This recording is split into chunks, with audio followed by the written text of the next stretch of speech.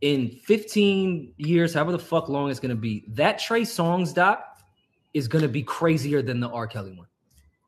Trey Songz is the most nasty, abusive, rapey, beats the shit out of women. Like he is the scum of the fucking earth. Trey Songz is fucking disgusting.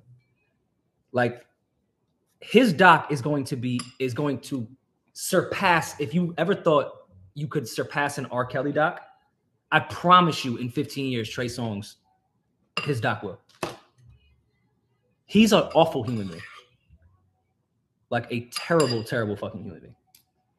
Santa Claus. And somebody is gonna knock him the fuck out. It sounds like you know who that somebody is. quite Yeah. This isn't one story. This is personal that I know with. I'm not even exaggerating. I, close to 15 to 20 women, all with the exact same experience that I know not to be liars at all.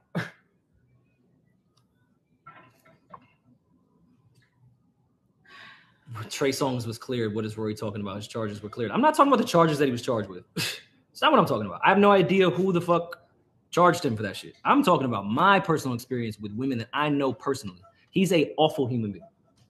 But I didn't mean to go on that tangent. I've just if I get one more Trey